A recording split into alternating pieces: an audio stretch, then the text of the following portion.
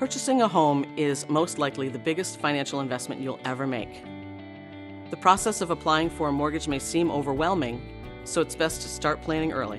The first step for prospective homebuyers is to know your credit score and how much house you can realistically afford. Consider using our online calculator to estimate your monthly payment.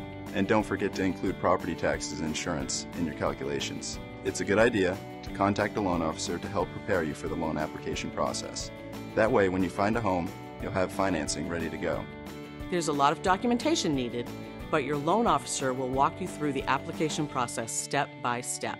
You'll be asked to submit proof of employment and income. Account for any money in savings and all other assets in your name.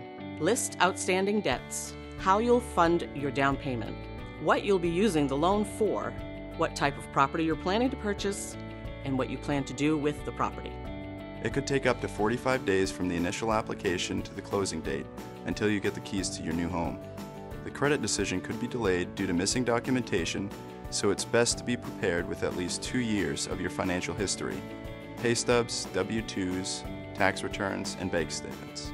When you are ready to make your dream of home ownership a reality, we'll be here to guide you every step of the way. Contact a loan officer to get started today. Growing stronger together.